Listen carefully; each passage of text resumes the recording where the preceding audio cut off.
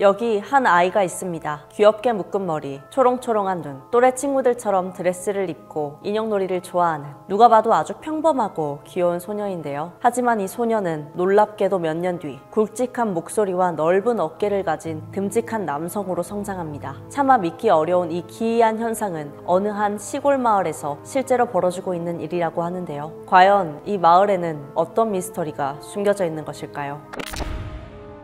안녕하세요. 소름입니다. 도미니카 공화국에 위치하고 있는 작은 마을 살리나스. 이곳에 살고 있는 한 여성이 급하게 의사를 찾아옵니다. 7살 난 자신의 딸 펠리스타 때문이었는데요. 제 딸이 이상해요. 아이가, 아이가. 사색이 된 채 말을 잇지 못하는 여성. 잠시 후 펠리스타의 상태를 진찰한 의사는 경악할 수밖에 없었습니다. 놀랍게도 아이의 중요한 신체 부위가 여자에서 남자로 바뀌어 있던 것인데요. 태어났을 때는 분명 여자였던 아이가 하루아침에 남자가 된 것이었습니다. 이게 어떻게 된 일이었을까요? 그 즉시 병원에서는 펠리스타에게 여러 가지 검사를 실시하는데요. 결과는 충격적이었습니다. 한치의 오차도 없이 남자가 확실하다는 것이었죠. 이날 이후 아이의 몸은 눈에 띄게 변하기 시작합니다. 얼굴에는 수염이 자라났고 가늘었던 목소리도 점점 굵어졌죠. 사춘기가 지나고 나서부터는 여성의 흔적을 전혀 찾아볼 수 없을 정도로 완벽한 남자가 되었다고 하는데요. 결국 부모님은 펠리스타의 이름을 조니로 바꾼 뒤 남자아이로 키웁니다. 수술을 통해 인위 적으로 성을 바꾸는 경우는 있어도 이렇게 자연적으로 성별이 변하다니 정말 놀라운데요. 충격적이게도 이런 일을 겪은 건 펠리스타뿐만이 아니었습니다. 실제로 살리나스 마을에 살고 있는 소녀들 중 90명당 1명은 펠리스타와 같은 현상을 경험했다고 하는데요. 태어날 때 분명 여자였지만 어느 순간 갑자기 신체 구조가 바뀌면서 남자가 된다는 소녀들. 정말 이게 가능한 일일까요? 마을에서는 이런 식으로 성별이 바뀐 소녀들을 개베도세즈라고 불렀는데요. 이는 12살에 생긴 남성의 중요 부위라는 뜻으로 남자가 된 아이들의 대부분이 평균 12살 때부터 근육과 음경이 발달하는 등 외적으로 가장 뚜렷한 변화를 보였기 때문에 이런 이름이 붙여졌다고 합니다. 두 눈으로 보기 전까지는 정말 믿기 어려운 일인데요. 그렇다면 가까이서 이 현상을 본 마을 사람들의 반응은 어땠을까요? 놀랍게도 이들은 펠리시타처럼 성별이 바뀐 아이들을 신의 저주를 받은 더러운 존재로 여겼다고 합니다. 악령이 씌었다며 조롱하고 심지어 마주치며 폭행까지 했기 때문에 자신이 개베도 세즈인 걸 숨기는 사람들이 많다고 하죠. 도대체 이런 현상이 발생하는 이유는 무엇이었을까요? 실제로 개베도세즈를 연구하기 위해 살리나스에 방문한 학자들은 그 원인이 유전병에 있다고 말했습니다. 태아는 수정 8주 이후부터 성별이 겉으로 드러나는데 XY 염색체를 가진 남자아이들은 이 시기에 특정 호르몬이 분비되면서 중요 부위가 발달한다고 합니다. 하지만 유전병으로 인해 이 호르몬에 문제가 생기면 그곳이 제대로 형성되지 못하는데요. 그렇기 때문에 태어났을 때는 여자아이 처럼 보이지만 호르몬이 왕성하게 분비되는 사춘기가 되면 뒤늦게 남성 기관이 발달하는 것이었죠. 다시 말해 게베도세즈는 여자에서 남자가 되는 것이 아니라 처음부터 남자였던 것입니다. 그런데 사실 이 현상은 살리나스 마을에서만 일어나는 것이 아니었어요. 실제로 이런 증상을 겪는 아이들은 전 세계 곳곳에 존재하고 있다고 합니다. 특이한 건 시간이 갈수록 그런 사례들이 점점 감소하는 반면 유독 이 마을에 살고 있는 아이들에게는 꾸준히 발생하고 있다는 것이었죠. 많은 학자들은 그 원인 이 이 마을에서 행해지던 하나의 전통 때문이라고 추정했다고 합니다. 알고 보니 당시 살리나스는 매우 폐쇄적인 마을이라 외부인 유입이 많지 않았기에 근친혼이 아주 흔했다고 하는데요. 이런 괴기한 풍습이 지속되다 보니 그곳에서 태어난 아이들에게는 유전적인 결함이 생긴 확률이 높을 수밖에 없다고 본 것입니다. 사실인지 우연인지 그들이 우려한 것처럼 살리나스에서는 개베도세즈들이 많이 태어났고 마치 지역 풍토병처럼 유행하게 된 것이었죠. 더군다나 살리나스는 집에서 출산을 할 정도로 마땅한 의료시설이 없는 곳이었기 때문에 뱃속에 있는 아이의 상태를 미리 파악하는 것도 어려웠다고 합니다. 가장 예민하고 중요한 시기에 이런 충격적인 변화를 겪어야 했던 아이들 실제로 그들은 또래 다른 아이들과 달리 무척이나 혼란스러운 시기를 보냈다고 하는데요. 그 중에서도 살리나스에서 태어난 사이퍼는 자신이 개베도세즈이라는 것을 알게 된 날부터 제대로 된 인생을 살지 못했다고 합니다. 사춘기 시절 완전한 남자가 되었지만 부모의 강압으로 인해 억지로 남성 성제거 수술을 받은 후 계속 여자로 살아야 했죠. 그러나 원래부터 남자였던 사이퍼는 단 한 번도 자신을 여자라고 생각하지 않았고 결국 성인이 된 뒤 다시 남자로 돌아갔다고 합니다. 처음에는 개베도세즈를 불결하게 여기던 살리나스의 사람들도 하도 이런 증상을 가진 아이들이 많이 태어나자 이제는 아예 남자, 여자, 자웅동체 이렇게 세 가지의 성을 인식하고 살아간다고 하는데요. 과연 다행이라고 해야 할지.